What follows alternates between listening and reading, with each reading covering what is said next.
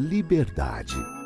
Liberdade para viver a vida, para desfrutar a natureza.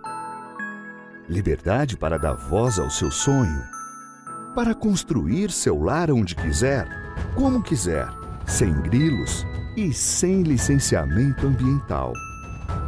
Liberdade para abraçar os amigos, para ver crescer a família, para rever um colega sumido ou praticar o seu hobby.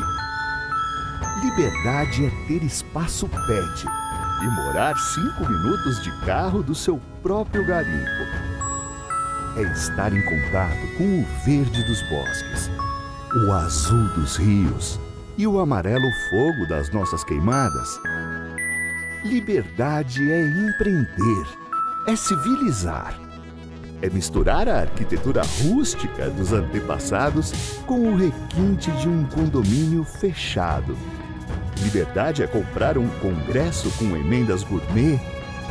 É ouvir somente o próprio coração ou a própria bancada? É legislar sem limites. É transformar um deserto em um grande centrão comercial.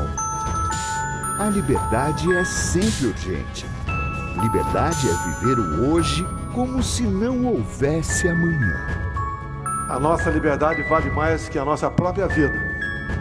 Liberdade é pouco.